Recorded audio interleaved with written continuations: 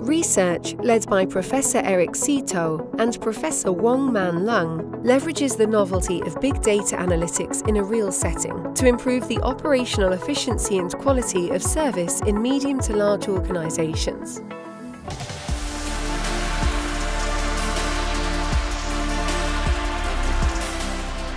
This includes the development of the Knowledge Management System, which was launched by an important knowledge intensive business organisation in Hong Kong.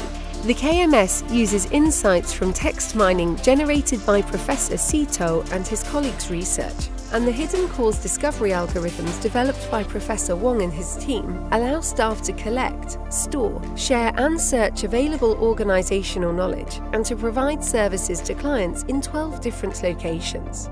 These developments and resulting KMS enable more efficient centralized knowledge management, sharing and reusing available knowledge, and extracting data driven insights from operations. They have also helped management to use the information generated to identify opportunities to increase productivity, to make data driven decisions about operational efficiency and service, to streamline the internal logistics of flow materials, and to encourage learning. Additionally, the KMS has led directly to improvements in the workplace through its innovative storage plan.